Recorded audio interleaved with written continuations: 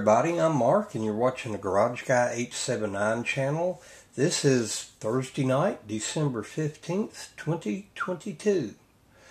Now back on April 24th of this year, I did the initial video on this revolver, the Taurus Model 82 Chambered in 38 Special, and it is also rated for 38 Special plus P ammo. Uh, here couple of days ago, I got to thinking about it and I'd realized I hadn't taken the first shots with it. We all know how uh, people get busy with other things and uh, things come up, work, and days off, bad weather, you can't get out and do some things. And of course, I have did videos on other firearms, but this one here, for some reason that I can't think of, I'd more or less put this on the back burner. Well, tell you what, that back burner, I turned the switch off on that. As of uh, yesterday, I took the first shots with this. First six shots I used was uh, the Remington UMC 38 Special Ammo, uh, 130 grain rounds. And the uh, second six shots I took was the Black Hills ammunition ammo. 38 special plus P rated 125 grain jacketed hollow points.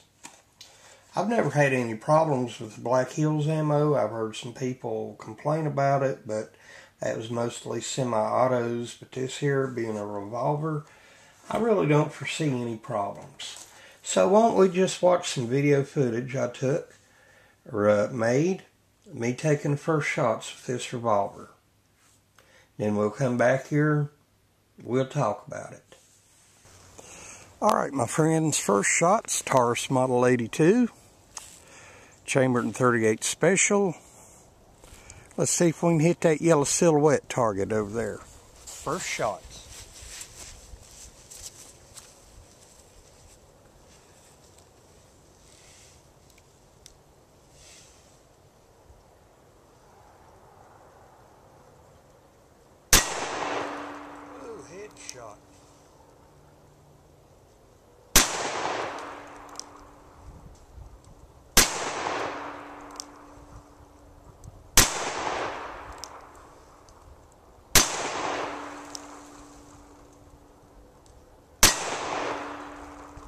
Headshot.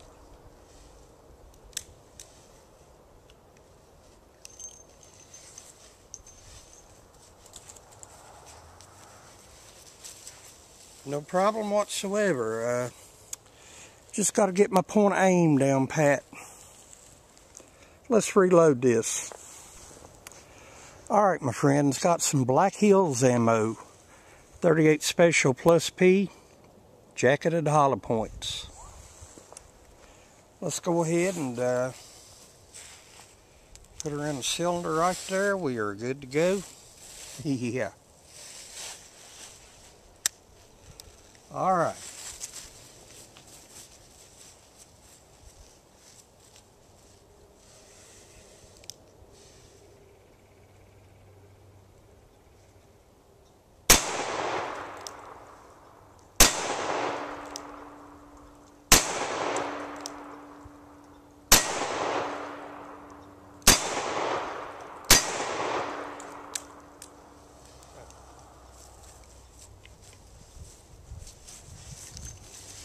Last two shots are in double action. Eject it ejected fine.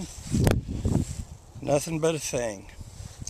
Why you say we go up to the house, wrap this up. All right, my friends. Uh, first of all, let's do a safety check right here. I have six snap caps in here. All right. Point name, safe direction no problems. Uh, the grip on here, firing the uh, 38 Special and especially the Plus P rounds, was no big deal, especially this being a heavy steel framed revolver. The only way I could tell any difference between 38 Special and the uh, Plus P rounds was the Plus P rounds were a little bit louder, you know, and not that much louder But when they hit the target, they did knock a little more paint off than the uh, regular rounds. But the grip was comfortable. You know, a lot of people complain about these Taurus factory grips right here. I didn't have any problems with it, you know, especially here on 38 Special. Now, the uh, hammer and trigger action on here, this being brand new, and uh, the only shots that have been fired through it, of course, have been at the factory. As we all know, there's really no, no such thing as a firearm that's never been fired. They're usually fired at the factory before they're sent out. Single action, just barely, just barely got to touch it. And, you know, e- even with this being smooth, it is a little stiff, like I said, brand new.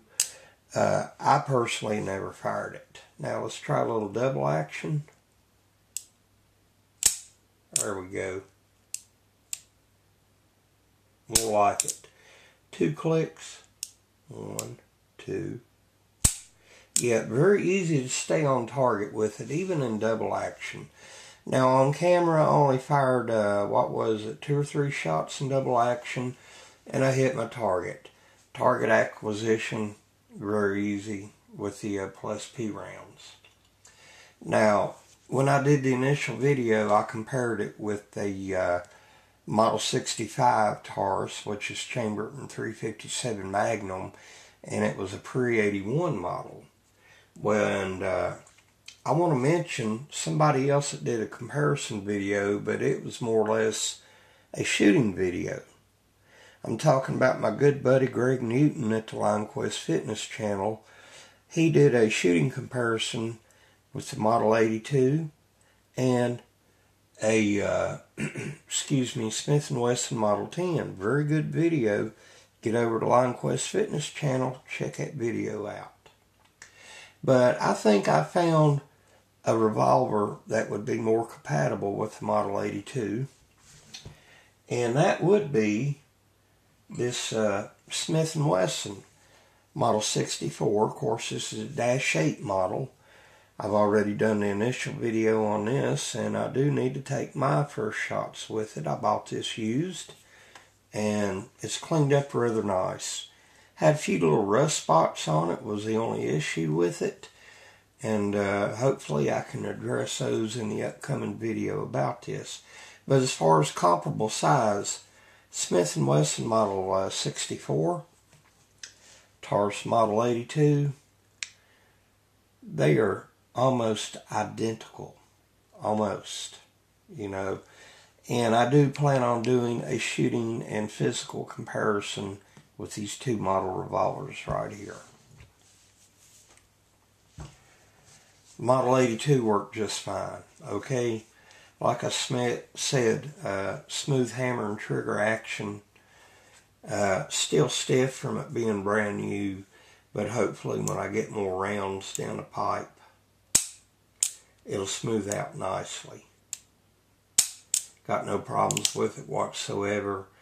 Now, one thing I will say, I've looked all over online, Taurus website, they do not seem to have the Model 82 with the matte stainless finish on it.